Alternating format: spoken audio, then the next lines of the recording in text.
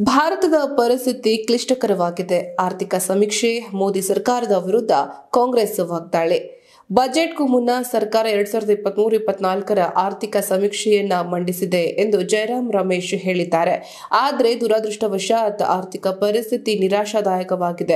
ಅಂದಹಾಗೆ, ಆಹಾರ, ಹಣದುಬ್ಬರವು ಅನಿಯಂತ್ರಿತವಾಗಿದೆ ಮತ್ತು ಗ್ರಾಮೀಣ ಭಾರತವು ಹಿಂದುಳಿದಿದೆ ಎಂದು ಅವರು ಕಿಡಿಕಾರಿದ್ದಾರೆ. ಕೇಂದ್ರ ಸರ್ಕಾರ ಮಂಡಿಸಿರುವಂತಹ ಆರ್ಥಿಕ ಸಮೀಕ್ಷೆಯನ್ನ ಕಾಂಗ್ರೆಸ್ ತೀವ್ರವಾಗಿ ಟೀಕಿಸಿದೆ. ಕಾಂಗ್ರೆಸ್ ಪ್ರಧಾನ ಕಾರ್ಯದರ್ಶಿ ಜೈರಾಮ್ ರಮೇಶ್ ಅವರು ಪ್ರಧಾನಿ ನರೇಂದ್ರ ಮೋದಿ ಅವರಿಗೆ ಪ್ರಶ್ನೆಯನ್ನ ಕೇಳಿದ್ದಾರೆ. ಇನ್ನು ಈ ಕುರಿತು ಪ್ರಶ್ನೆಗಳನ್ನ ಎಕ್ಸ್ ಖಾತೆಯಲ್ಲಿ ಪೋಸ್ಟ್ ಮಾಡಿದ್ದಾರೆ ಅಥವಾ ಹಿಂದಿನ ಟ್ವಿಟರ್ನಲ್ಲಿ ಟ್ವೀಟ್ ಮಾಡಿದ್ದಾರೆ ಅಂತ ಹೇಳಬಹುದು.